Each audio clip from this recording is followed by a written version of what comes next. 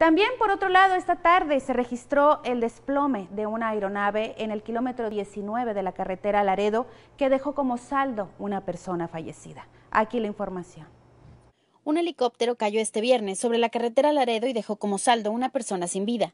Protección Civil Nuevo León reportó el accidente alrededor de las 2 de la tarde en el kilómetro 19 de la mencionada vía en el sentido de circulación de norte a sur en el municipio de Apodaca.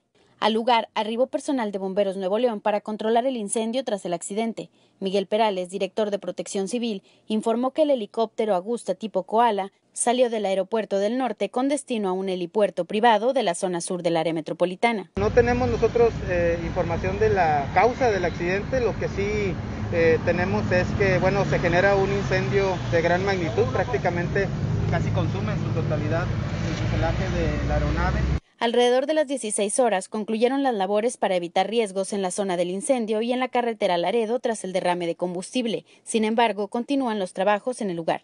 Cintia Salazar, Noticias 28.